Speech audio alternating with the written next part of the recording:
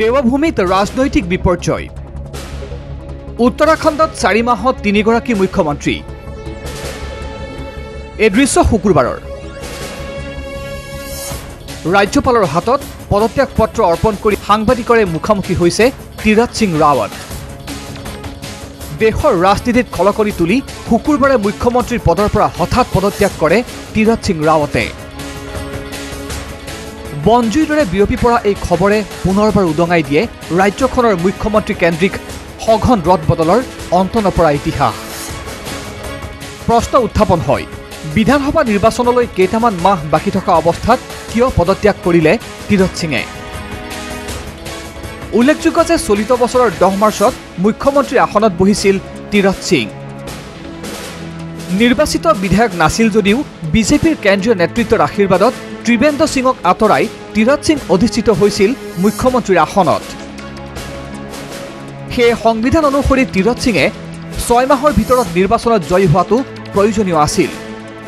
এফালে কভিডৰ দ্বিতীয় ঢৌৰ সংহাৰ আনফালে দুহেজাৰ বাইছত বিধানসভা নিৰ্বাচন। এনেস্থলত উপ নিৰ্বাচনৰ সম্ভাৱনা প্ৰায় নোহোৱা হৈ আছিল। ইয়াৰ পাছতো তীৰথ সিঙৰ হাতত সময় আছিল দহ ছেপ্টেম্বৰ পৰ্যন্ত।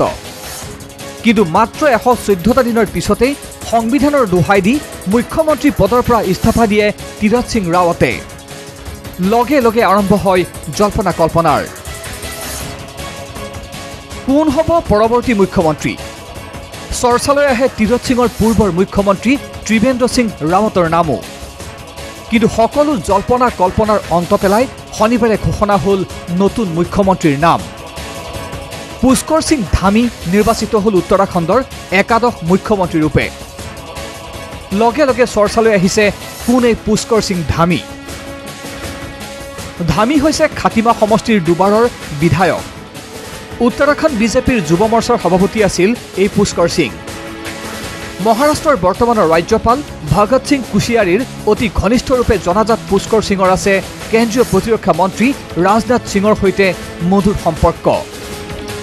উল্লেখযোগ্য যে বিগত চাৰি মাহত উত্তৰাখণ্ডত মুখ্যমন্ত্ৰী আসনত বহিল তিনিগৰাকী পৃথক ব্যক্তি। এইদৰে দুটা দশকত দহগৰাকী মুখ্যমন্ত্ৰী সলনি হোৱা দেশটোৱে পুনৰবাৰ উদঙাই দিয়ে দেৱভূমিৰূপে খ্যাত উত্তৰাখণ্ডৰ ৰাজনৈতিক অস্থিৰতাৰ ছবিখন। National desk N D twenty four.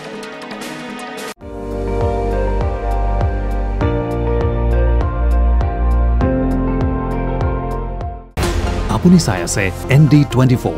সৰ্বশ্ৰেষ্ঠ নহয় সৰ্বোত্তমৰ দৌৰ